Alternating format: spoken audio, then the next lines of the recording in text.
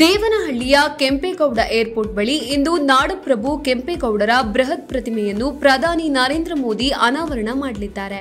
ಈ ಸಮಾರಂಭಕ್ಕೆ ಬರುವ ಲಕ್ಷಾಂತರ ಜನರಿಗಾಗಿ ಮಧ್ಯಾಹ್ನದ ಭೋಜನ ವ್ಯವಸ್ಥೆ ಮಾಡಲಾಗಿದೆ. ಮಧ್ಯಾಹ್ನ ಹನ್ನೆರಡು ನಲವತ್ತೈದಕ್ಕೆ ವೇದಿಕೆ ಕಾರ್ಯಕ್ರಮ ನಡೆಯಲಿದೆ. ಇದೇ ವೇಳೆ ಇನ್ನೊಂದೆಡೆ ಭೋಜನ ವ್ಯವಸ್ಥೆ ಇರಲಿದೆ.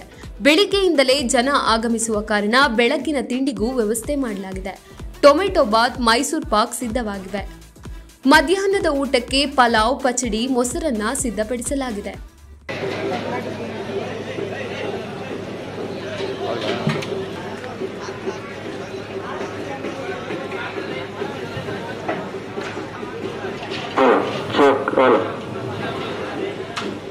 ಬ್ಯಾಟನ್ಪುರ್ ಮಹೇಶ ಒಂದ್ ಜೆ ಸಿ ಬಿ ಕಳಿಸ್ಬೇಕಿಲ್ಲ ಒಂದು ಆಗಿರೋ ಗಾಡಿಗಳು ಮುಂದೆ ಹೋಗಿ ಬೋರ್ವೆಲ್ ತುಂಬಿಸ್ಕೊಂಡು ಬರ್ಬೇಕು? ಆಗಿರೋ ಟ್ಯಾಂಕರ್ನ?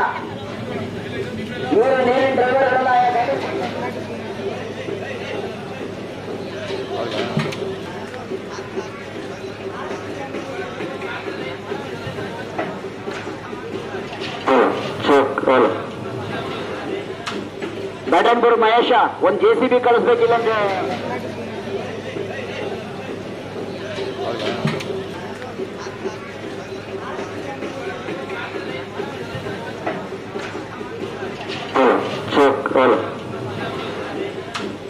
ಬ್ಯಾಟನ್ಪುರ್ ಮಹೇಶ, ಒಂದ್ ಜೆ ಸಿ ಬಿ ಕಳಿಸ್ಬೇಕಿಲ್ಲಂದ್ರೆ. ಖಾಲಿಯಾಗಿರೋ ಗಾಡಿಗಳು ಮುಂದೆ ಬೋರ್ವೆಲ್ ತುಂಬಿಸ್ಕೊಂಡು ಖಾಲಿಯಾಗಿರೋ ಟ್ಯಾಂಕರ್ನ. ನೀರು ನೀರಿನ ಡ್ರೈವರ್ಗಳೆಲ್ಲ